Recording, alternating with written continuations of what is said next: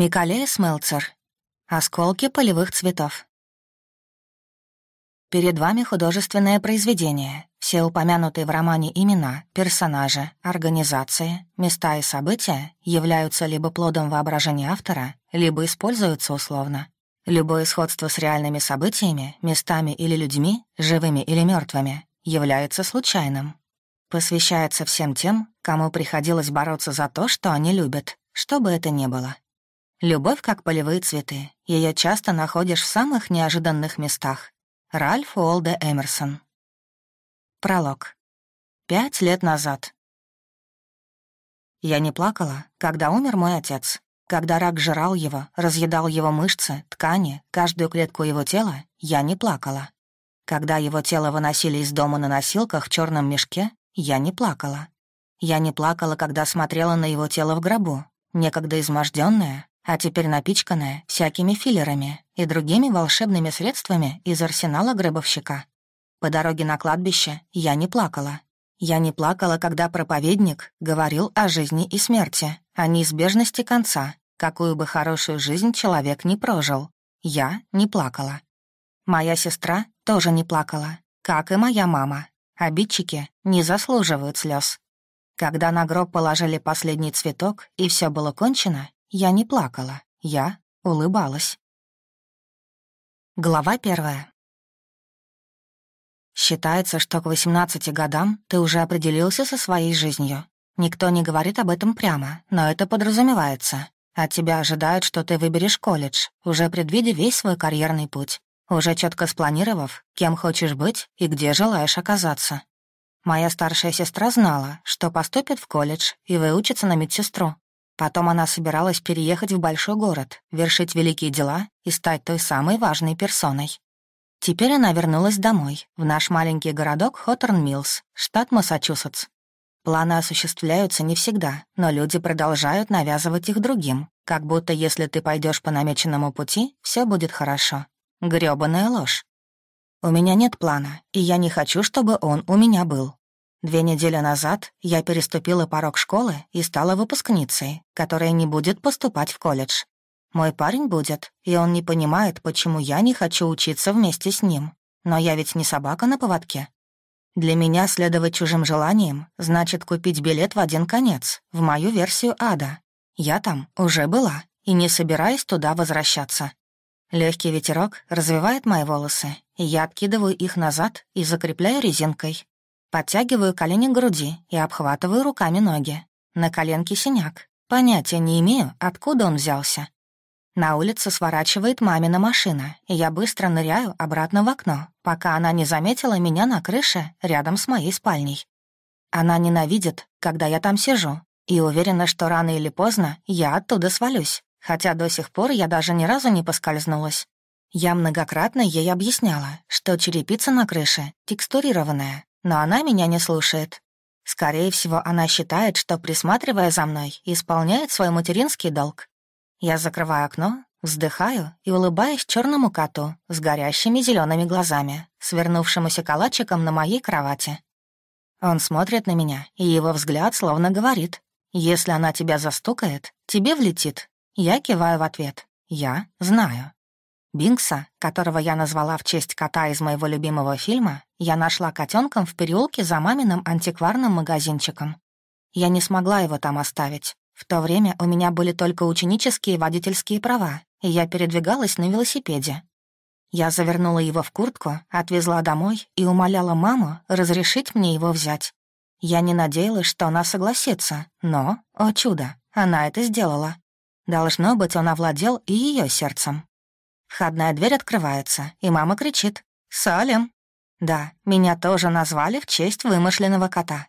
Вообще-то меня назвали в честь города, в котором я была зачата. По крайней мере, так мне сказали, но довольно о грубом. Да, я выхожу из своей комнаты и останавливаюсь на верхней ступеньке. Викторианский дом, который постепенно перестраивала моя мама, может похвастать величественной широкой лестницей, Такую можно увидеть в старых фильмах, где героиня легко спархивает вниз, держась ручкой за перила. К сожалению, я не героиня, и во мне нет ничего элегантного. Надеюсь, мои рваные джинсовые шорты, грязные кроссовки и майка на меня не в обиде. «У тебя есть планы на вечер?» Мама сдувает с глаз челку, ее руки заняты бумажными пакетами с продуктами. Я спускаюсь по лестнице и забираю у нее несколько пакетов.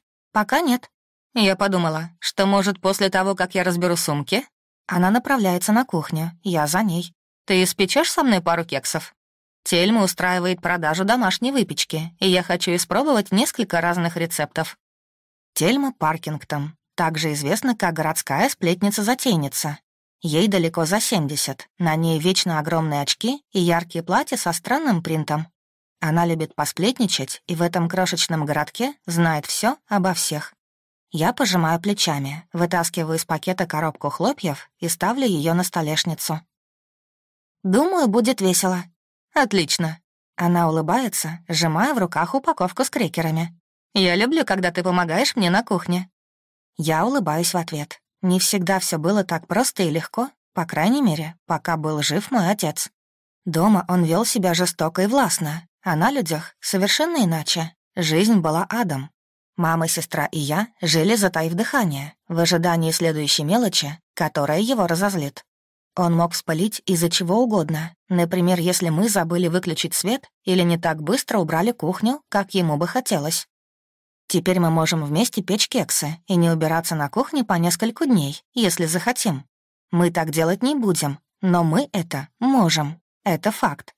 Мы убираем все продукты, и мама достает один из своих многочисленных фартуков, на этот раз яркий, с кусочками пирога, и передает мне другой, в цветочек. «Какие вкусы ты хочешь попробовать?» Я крепко завязываю фартук на талии, чтобы не перепачкать одежду, но я слишком хорошо себя знаю, чтобы понимать, никакой фартук меня не спасет, и мука или глазурь все равно оставят след на отдельных частях моего тела. Я подумала о моем рецепте с медом и лавандой, шоколадом, поскольку он уже проверен, и, может быть, с лимоном и мятой. Она задумывается. В прошлый раз тесто получилось слишком мятным, так что придется изменить рецепт. «А как насчет твоих кексов из песочного теста? Они всегда расходятся на ура». Она хихикает и смотрит, как я тянусь за ее личной книгой рецептов на случай, если она решит внести в рецепты коррективы. «Это твои любимые кексы, поэтому ты их и хочешь. Я поворачиваюсь к ней и кладу книгу на островок. Признаю, виновата. Она качает головой, уголки ее губ ползут вверх, но она не спорит, и я радостно улыбаюсь. Мы работаем сообща и достаем ингредиенты, миски для смешивания и все остальное, что нам понадобится. Я не такой отменный пекарь, как мама, но я усердная, и мне нравится хлопотать вместе с ней. В доме жарко. В этом прелесть жизни в старом доме без центральной системы кондиционирования. Поэтому, чтобы привнести в кухню хоть какую-то прохладу, я включаю потолочный вентилятор и вентилятор на полу. Когда духовка разогреется, здесь станет невыносимо. Мама включает музыку, и, занимаясь готовкой, мы обе поем и танцуем. Наш смех заполняет пространство, и я вспоминаю те времена, когда этот звук полностью отсутствовал в нашем старом доме. Я стараюсь не слишком часто думать о том, что было раньше, о том, как мы жили с отцом, но иногда от этих мыслей трудно отделаться. Я беру тесто и равномерно распределяю его по формочкам, пока мама готовит три разных вида глазури. Кухня — самая обновленная часть дома, и поскольку мама любит печь, она настояла на том, чтобы ей установили сдвоенный духовой шкаф. В такие моменты, когда готовится несколько партий кексов, это, безусловно, удобно. Я убираю кексы в духовку и устанавливаю таймер, хотя в этом нет необходимости. У мамы есть нюх, какое-то шестое чувство. Удивительно, как ей удается определить момент, когда все готово, но это умение ее еще ни разу не подвело. Она смотрит на свой телефон и морщит нос. «Кто там?» Я смываю с рук брызги жидкого теста. «Твоя сестра?» Я закатываю глаза. У меня хорошие отношения со старшей сестрой, но это не значит, что я слепа и не вижу ее недостатков, которых великое множество. Что она учудила на этот раз? Я вытираю руки и начинаю собирать грязные миски и лопаточки. Она не придет домой к ужину, встречается с Майклом. Я старательно скрываю свою реакцию. Майкл уже много лет является парнем Джорджии. На все это время они то расстаются, то сходятся снова. Человек он не самый плохой, но вдвоем они представляют собой смертельную комбинацию, Дикую, спонтанную, на грани катастрофы. Когда они расстались в последний раз, Джорджия поклялась, что больше никогда его не увидит. Лгунишка. Не поймите меня превратно, это ее жизнь, и она вправе поступать, как ей заблагорассудится. Но я хочу, чтобы она нашла кого-то, кто бы относился к ней как к королеве. И не тратила время на мужчину, который, несмотря на проведенные вместе годы, убегает при одном упоминании о браке. Да, мне всего восемнадцать, но я не глупа. Пара должна быть на одной волне и смотреть в одну сторону, а не как эти двое. Я думала, они расстались. Я с большим остервенением, чем того требует ситуация, тру миску из нержавеющей стали. «Ты же знаешь Джорджию, она любит его, и каждый раз думает, что теперь все будет по-другому. Может, на этот раз так и будет?» Я пытаюсь вложить в свой голос немного ложной надежды, но мы обе смеемся, зная, что это вряд ли произойдет. Я заканчиваю с мытьем посуды и помогаю ей с глазурью. «Кексы готовы». Она резво поднимает голову и мчится к духовке, натягивая рукавицу, и расставляет противни, чтобы дать им остыть. «Не могла бы ты проверить почту?» «Легко». Я открываю боковую дверь, спускаюсь по ступеням, и мои ноги касаются подъездной дорожки. Ее недавно заасфальтировали. Это оплатили моя бабушка с дедушкой. И теперь я скучаю по тем временам, когда можно было пинать гравий. Я смотрю на соседний дом, его недавно продали, и пока в него никто не заехал. Однако сегодня снаружи припаркован фургон. Я прищуриваюсь и иду дальше по улице, пытаясь разглядеть надпись на фургоне. «Ландшафтный дизайн Холмса». Вот как. Может быть, тот, кто его купил, нанял ландшафтного дизайнера, чтобы тот приехал и убрал все заросли. Двор и дом, конечно, нуждаются в уходе, как и наши, но они прекрасны и таят в себе огромный потенциал. Когда мама купила этот дом, я сначала решила, что она рехнулась, не купив новостройку, но потом поняла. В старом доме гораздо больше очарования. Все, что от вас требуется, подарить ему немного любви. Я открываю почтовый ящик, беру письма и поворачиваюсь, чтобы вернуться домой, когда слышу стон. Он доносится из-за забора, отделяющего наш двор от соседнего. «Эй!» — кричу я, Ответа нет, но я слышу шум, напоминающий звуки борьбы. Я с опаской выхожу во двор и обнаруживаю, что калитка на задний двор открыта. Я оглядываюсь на припаркованный на улице фургон. Салем, вот так и убивают людей. Но эта мысль не мешает мне выйти на задний двор. «Эй, есть тут кто-нибудь?» Мой голос звенит в послеполуденной жаре. Шипение и пыхтение, словно кто-то пытается снести дом. Вот единственный ответ, который я получаю.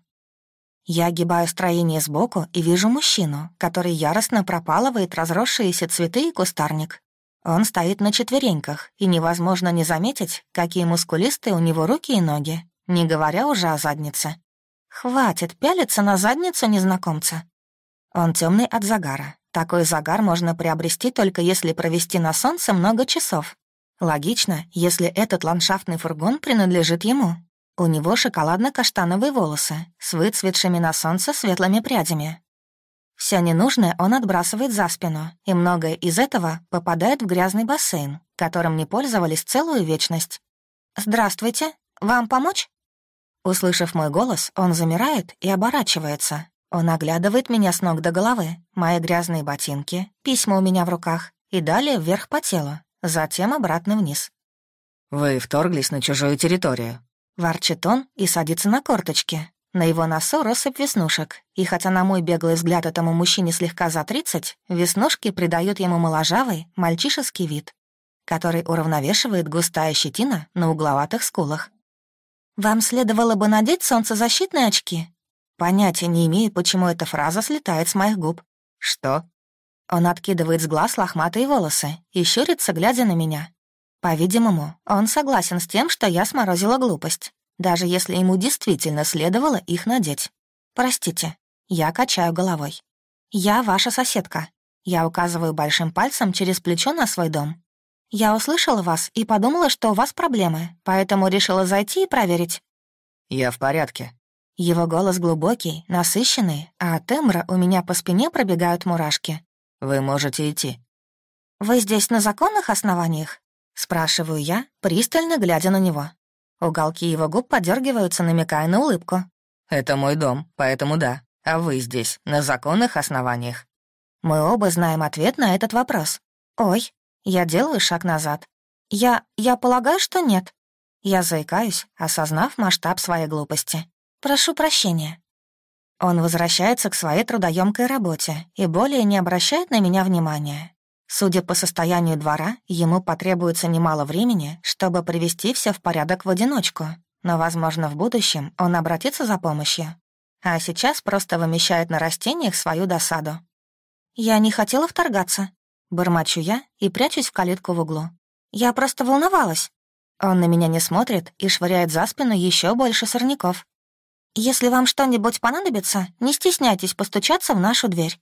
Осознав, что он не собирается мне отвечать, я бегом возвращаюсь на нашу подъездную дорожку. Боковая дверь открывается, и мама высовывает голову. «А я иду тебя искать. Я уже стала волноваться». Я трясу головой и взбегаю по ступенькам в дом. «Извини, я только что познакомилась с нашим новым соседом». «Ого». В ее голосе звучит изумление, и она оглядывается по сторонам, словно в надежде кого-то увидеть. «Я не знала, что они уже переехали. Он какой-то нелюдимый». Она хмурится и запирает дверь. Она уже достала кексы из формы и выложила их на столешницу. «Что ж, жаль. Ммм, мычу я. Скорее всего, он просто не в духе. Переезд — это так хлопотно». Я безразлично пожимаю плечами, но мой взгляд скользит к окну над уголком для завтрака, которое выходит в его двор. Я его не вижу, но представляю, как он стоит там на четвереньках. Возможно, Почему-то я не сомневаюсь, и даже несмотря на его, мягко говоря, нелюбезное поведение, я испытываю к новому соседу живейшее любопытство. Глава вторая. Новый сосед. Прошло три дня, а я до сих пор не знаю его имени. Методично приводит в порядок свой сад. Он добился приличного прогресса, и вчера ему помогали несколько человек. Я сидела на крыше и наблюдала за ним, но он меня не заметил, Мама, если бы поймала меня за этим делом, назвала бы меня шпионкой, но мне это слово не по душе.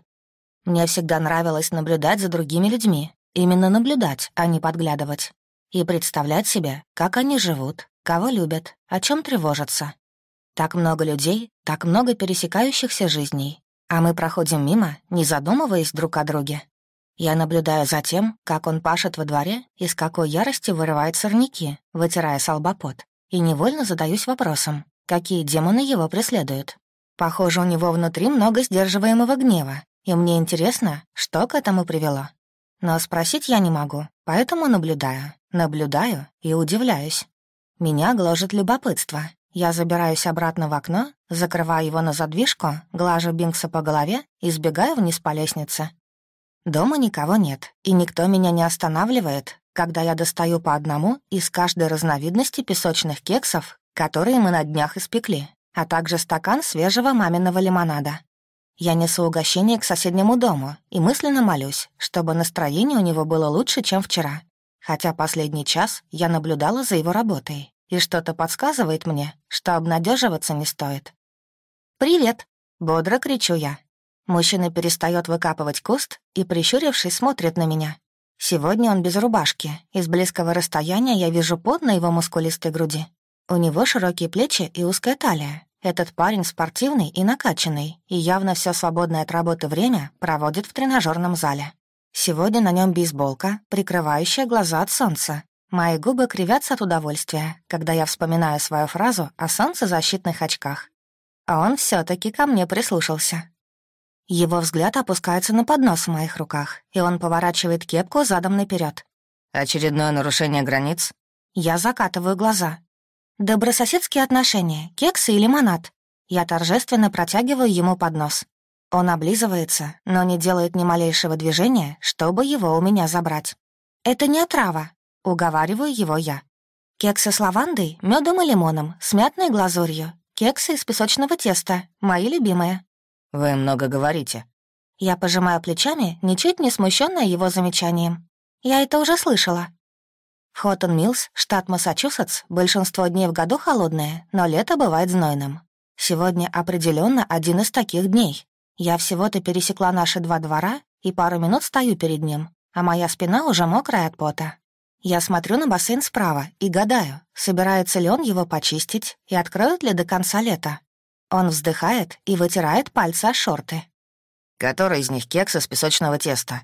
Я киваю на тот, что посередине, и сосед тянет к нему свои длинные загорелые пальцы. «А остальные не хотите попробовать?» «Нет». Он качает головой и возвращается к работе.